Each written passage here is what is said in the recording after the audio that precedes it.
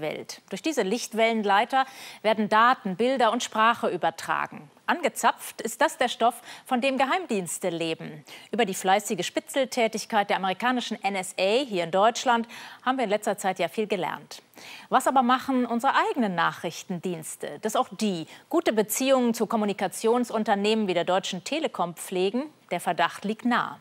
Was also bedeutet es, dass sich die Telekom eine Abhörtechnik patentieren ließ? Fragen sich Arndt Ginzel, Martin Kraushaar und Ulrich Stoll. Amerikanische und britische Geheimdienste belauschen uns, schöpfen gigantische Datenmengen ab, auch aus den Glasfaserkabeln. 340.000 Kilometer Glasfaser gibt es allein in Deutschland. Keine E-Mail, kein Telefonat, das durch diese Kabel geleitet wird, ist sicher. Bonn, 11. November, Internetsicherheitstagung. Nach den NSA-Enthüllungen will die Deutsche Telekom ihre Netze vor Briten und Amerikanern besser schützen. Immer dann, wenn Absender und Empfänger von äh, Daten äh, innerhalb zum Beispiel Europas äh, angesiedelt sind, dann kann man diesen Datenverkehr ja auch entsprechend steuern. Da muss ja nicht noch zusätzlich über den Atlantik oder über andere äh, Wege geleitet werden, wie das im Internet häufig der Fall ist. Denn deutsche Daten werden oft über Glasfaserkabel auch in die USA oder nach Großbritannien geleitet. Dort werten Geheimdienste sie aus. Wie hier im englischen Butte. Hat die Telekom selbst wirklich nichts mit Datenausspähung zu tun? Darmstadt, das Technologiezentrum der Deutschen Telekom. Hier entwickeln Forscher 1997 eine spezielle Abhörmethode für Glasfaserkabel. Die Telekom lässt sich die Erfindung europaweit schützen, hält das Patent bis 2010. Die Erfindung sei, Zitat, erforderlich zum Abhören von ausgewählten Nachrichtenverbindungen zu Zwecken hoheitlicher Überwachung. Wir fragen den früheren Verfassungsschützer und IT-Sicherheitsexperten Hartmut Pohl nach dem Nutzen des Patents. Man kann äh, ein Kabel vollständig abhören, ohne dass es erkannt wird vom, erkannt werden kann vom Betreiber. Mm, und man kann sich auf ein Kabel aufschalten irgendwo in der Welt. Abhören ohne Risiko. So funktioniert das. Daten aus Computern und Telefonen strömen als Lichtimpulse durch die Glasfaser. Eine winzige Lichtmenge strahlt durch die Kabelhülle. Das Licht wird über einen Spiegel verstärkt und auf einen Fotodetektor geleitet. So werden die Daten aus dem Kabel unbemerkt abgezweigt. Der Magdeburger Glasfaserexperte Professor Dieter Schwarzenau sieht für die patentierte Überwachungstechnik nur einen Verwendungszweck.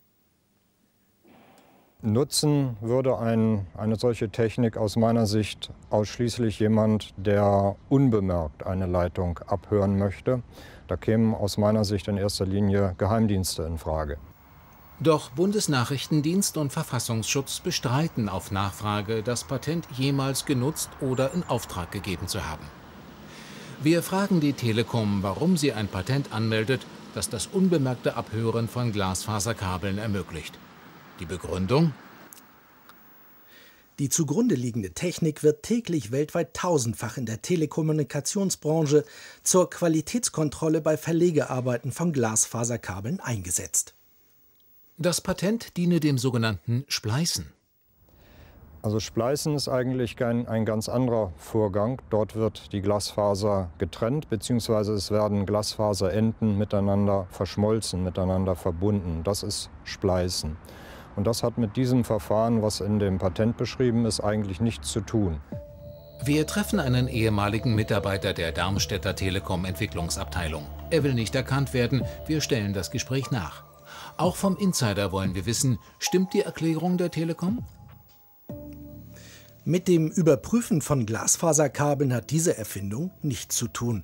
Da gibt es andere Methoden. Es ist im Grunde genommen, wie wenn ein Raum verwanzt wird. Doch die Telekom behauptet weiter, ihr Patent diene nicht dem Abhören.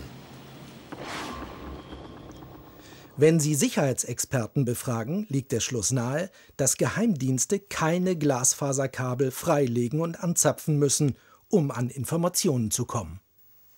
Sicherheitsexperte Professor Pohl widerspricht. Es gibt Situationen durchaus, wo die Zielperson oder das Zielunternehmen, der Zielrechner so gut abgesichert ist, dass es dem Nachrichtendienst nicht gelingt, auch mit Tricks in den Rechner einzudringen.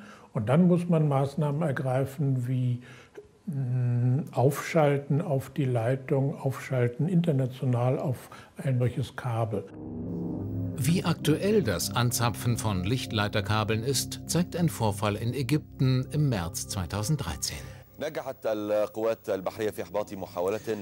Die Marine konnte einen Versuch von drei Tauchern unterbinden, ein Untersee-Glasfaserkabel am Meeresboden nahe der Stadt Alexandria anzugreifen.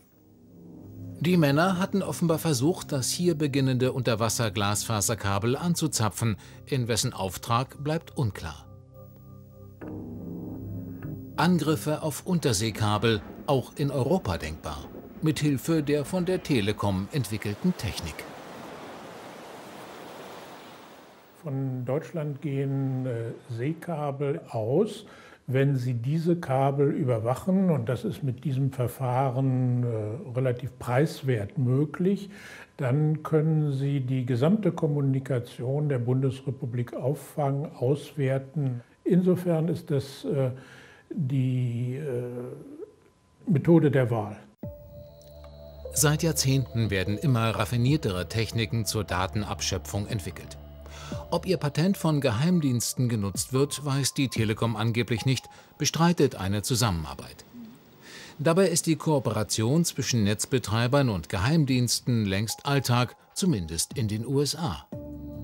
San Francisco, Folsom Street, die Schaltzentrale der US-Telefongesellschaft ATT.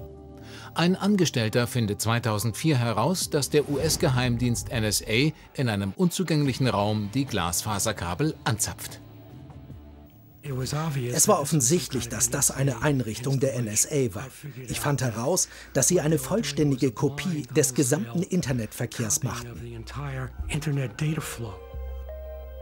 Die NSA kopierte heimlich den gesamten Datenfluss, leitete ihn in ein sogenanntes Splitter-Kabinett.